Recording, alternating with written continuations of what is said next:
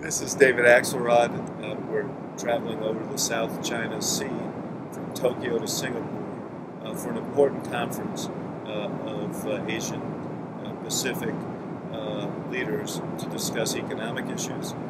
this is important to the United States because there are tremendous opportunities for us as we heal our economy to find customers for our exports. Asia represents great emerging market for American products.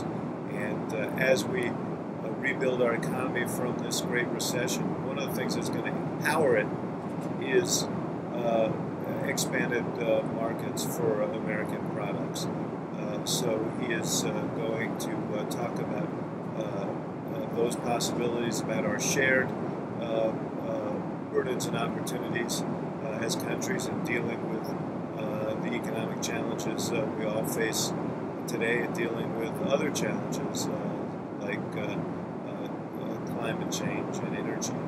Uh, he'll have a chance while he's there to meet with uh, the Russian president, Medvedev, to talk about a variety of issues, including our shared interest in nuclear proliferation and how we reverse that deadly trend. So all of these will be on the agenda in Singapore and uh, it'll be a productive, uh, a productive couple of days for the president.